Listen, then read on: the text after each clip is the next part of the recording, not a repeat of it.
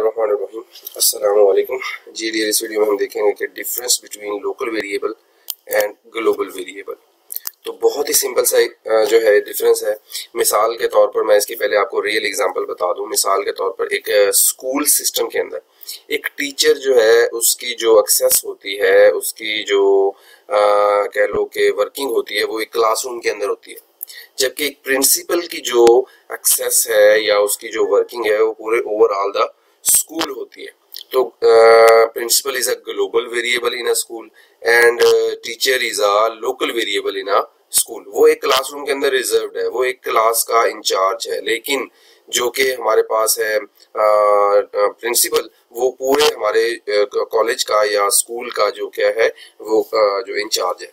तो इसकी एग्जांपल देखते हैं। हमारे पास एक फ़ंक्शन है वॉइड एफ़ ठीक है?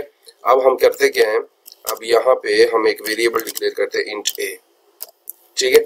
अब यहाँ पे मैं क्या करता हूँ? ए प्लस प्लस ठीक है? और फिर मैं यहाँ पे करता हूँ ए प्लस प्लस फिर मैं फ़ंक्शन को कॉल करता हूँ।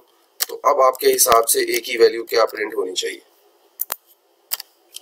ठीक है? ए की वैल्यू फ़र्स्ट टाइम पे मैंने ज़ीरो इनिशलाइज करवा दिया। तो जब मैं फ़ंक्शन कॉल करूँगा तो ऑब्वियसली एक्चुअली कोड तो मेन से एग्जीक्यूट होगा। तो ए की वैल्यू हो जाएगी a plus plus one one के बाद फ़ंक्शन कॉल हुआ। टू और टू जो है वो डिस्प्ले होनी चाहिए।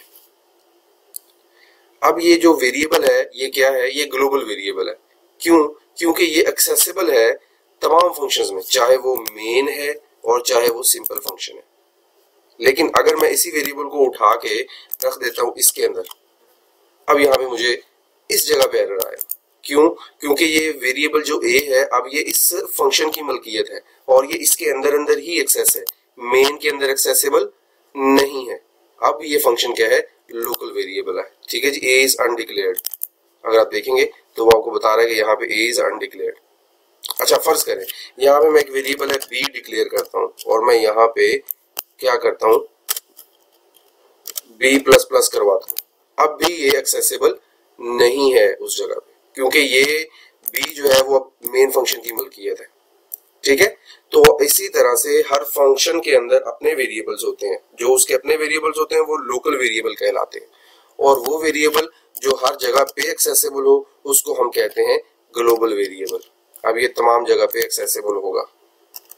ठीक है? इस वेरिएबल का नाम क्या है जी अब? ग्लोबल वेरिएबल क्लियर होगी बात? ठीक है? तो इनशाला नेक्स्ट लेक्चर में नए टॉपिक के साथ हाजिर होंगे। तब तक के लिए अपना ख्याल रखें और दुआ में याद रखें। अल्लाह